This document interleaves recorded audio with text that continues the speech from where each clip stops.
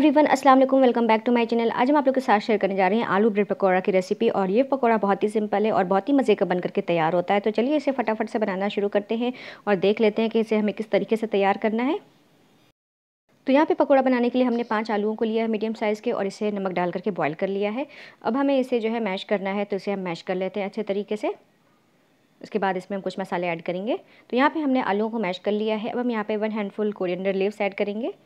Quarter teaspoon garam masala powder one teaspoon crush की हुई धनिया जिसको हमने रोस्ट कर लिया था हाफ़ टी स्पून काले मिर्च powder three four teaspoon dry mango powder half teaspoon काला नमक या फिर थ्री फोर टी स्पून भी ऐड कर सकते हैं three four teaspoon roasted ज़ीरा पाउडर वन टी स्पून अदरक लहसुन का पेस्ट वन टी स्पून लाल मिर्च powder one teaspoon chaat masala powder one teaspoon green chutney half teaspoon नमक।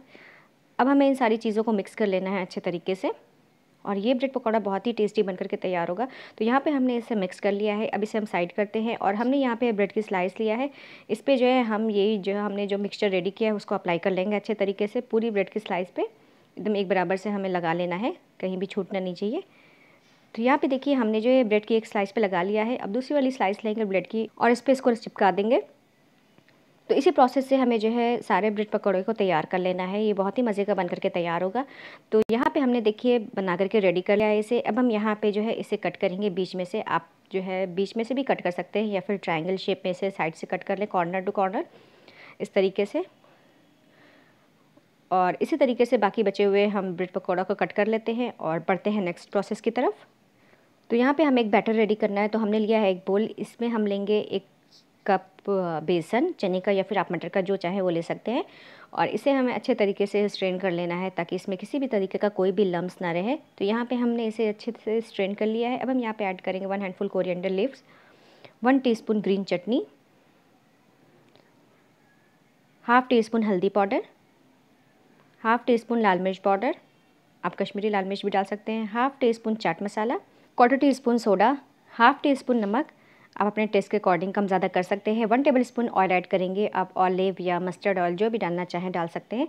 अब इन सारे इंग्रेडिएंट को हमें ड्राई पहले मिक्स कर लेना है अच्छे तरीके से। और यहाँ पे हमने इसे मिक्स कर लिया है। तो अब हम थोड़ा थोड़ा पानी डाल करके इसको अच्छा सा बैटर बना लेंगे, बिल्कुल रनी और जो है लम्स फ्री। तो यहाँ पे हमने देखिए थोड़ा थोड़ा पानी डाल करके बैटर रेडी कर लिया है। बैटर थोड़ा थिक ही हम रखेंगे। तो यहाँ पे बैटर बिल्कुल रेडी है। अब बढ़ते हैं नेक्स्ट प्रोसेस की तरफ़। तो यहाँ पे हमने देखिए जो है ब्रेड को जो काट करके रखा हुआ था, उसे जो है बैटर में डिप करेंगे। अच्छे तरीके से हमें कोट कर लेना है और जो है अगर बैटर ठीक रहेगा तभी अच्छा ये बन पाएगा, नहीं तो उस पर कोट अच्छे से नहीं हो पाएगा। अब एक एक करके हम यहाँ पे ब्रेड पकौड़ा को डालेंगे और मीडियम टू हाई फ्लेम पर इसे फ्राई कर लेंगे। तो एक से दो मिनट इसी तरीके से एक साइड से फ्राई होने देते हैं। तो दूसरे साइड से अब हम इसे टर्न करके फ्राई कर लेते हैं एक से दो मिनट। अब इसकी साइड को एक करके चेंज करेंगे और दूसरे साइड से भी इसे एक से दो मिनट फ्राई कर लेंगे।